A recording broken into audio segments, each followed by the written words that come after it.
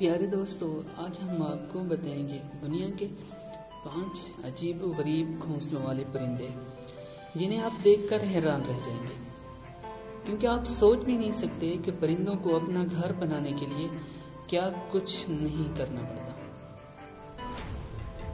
American जगाना इस परिंदे को देखकर आपको ये ज़रूर लग रहा होगा कि इस परिंदे के दो नहीं, बल्कि काफ़ी सारे पंजे हैं।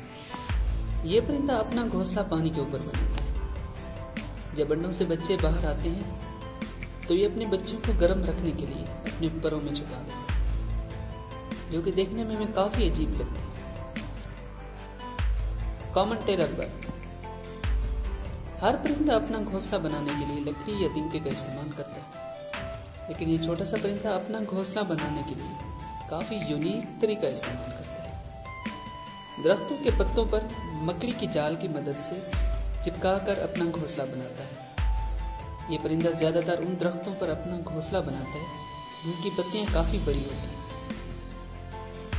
पुअर बर्ड्स ये परिंदा अपना घोंसला दरख्तों पर नहीं, बल्कि इंसानों की तरह ज़मीन पर अपना घोंसला बनाता है। ये अपने घोंसले को सजाने के लिए रंग बिरंगी चीज़ें ले आता है और घोंसले को सजाता है। इनमें ज़्यादातर फल फूल होते हैं।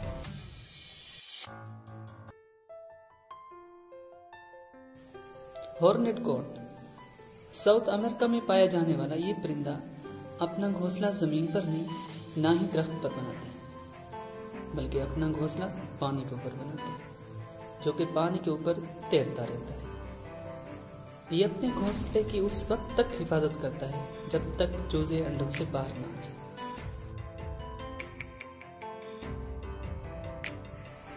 वुड पेकर मशहूर परिंदा है।